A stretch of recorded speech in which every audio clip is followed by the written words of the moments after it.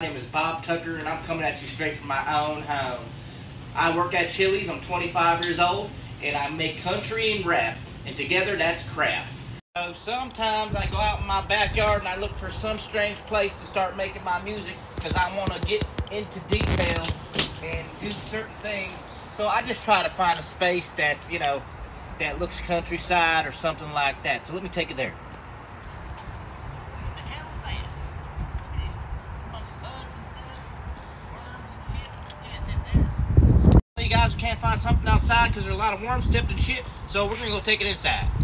All right, so if you can't do it outside, this is where the best music comes to life, right here in this room. Uh, all right, so I hit this chord here. Oh yeah. Oh yeah. I can't come up with nothing on camera. Every time someone films me, I can't come up with nothing. You know what? I'll just steal something off YouTube.